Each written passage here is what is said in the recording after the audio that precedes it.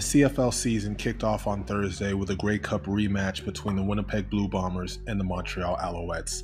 And the Montreal Alouettes picked up right where they left off in the Grey Cup, playing stingy defense. They were very stout against the run and never allowed Brady Oliveira to find any open holes and uh, find any running room. This is the first play of the game, and you can see that Montreal is setting a new line of scrimmage and not allowing Brady Oliveira or the offensive line to get any movement up front. Derek Wiggan, number 95, eats a double team, and number 94, Mustafa Johnson, gets instant penetration into the backfield and really just cuts off the play. I mean, this is how you play great defense, and this is a consistent theme all night.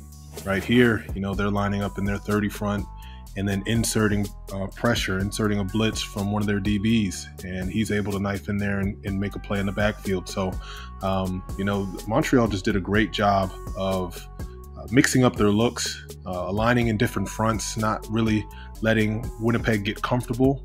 Uh, and then making plays. Noel Thorpe is known for having aggressive defenses, and on Thursday night, uh, they stayed true to form.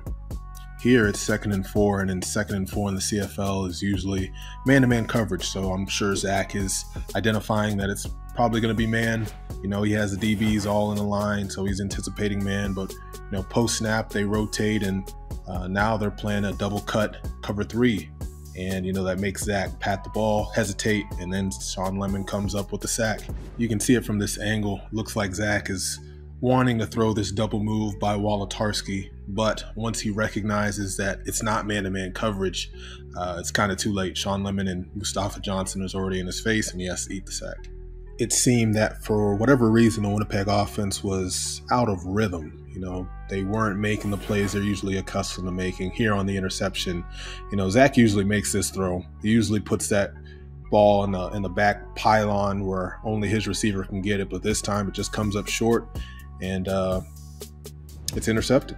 These corner passes, these corner routes are a staple in the Winnipeg offense. So, I mean, it's usually on the money. Zach usually puts them right in the bucket and allows the receiver to make the play, but uh, leaves this one short, and Dubois makes a great play, catching the ball and getting an interception. Here, they're in zero zero pressure, and Zach is short with the ball again, allowing the DB to you know, get in there and, and, get the ball out. You know, this is another play where Zach usually puts it into the end zone and lets his receiver run underneath it, you know, for an easy touchdown. But, um, you know, they just seemed out of rhythm and they and they tried everything. They brought Chris Streveler into the game to try and ignite the run game. That didn't really work. And even on the plays they did have some success, um, you know, like this screen, you see that Montreal's defense is pursuing, and then you know Darnell Sankey pops the ball loose. So I mean, it's a great play by Montreal.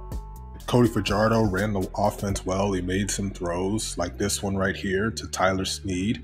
Uh, Tyler Snead's running the deep out cut at the top of the screen, the wide side of the field. And this is a tough throw, but Cody puts it where only his receiver can make the play. And, you know, Tyler Snead does a great job of stemming his defender up, giving him a little sauce at the top, and then getting out to the sideline, making the catch. Fajardo and Snead connected again later in the game on a deep pass down the sideline. It looked like the same play that they ran in the Grey Cup. Um, but here, it looks like Winnipeg is playing some sort of match man defense in the red zone where they have some overhangs, but their corner to the wide side of the field doesn't really do a good job of playing 70 30 to his man, allowing Tyson Philpot to uh, catch the ball and make some moves and get into the end zone in any game, it's the execution level that establishes who wins and who loses. And on Thursday, Montreal flat out just executed better than the Winnipeg Blue Bombers, and that's why they were successful and won the game.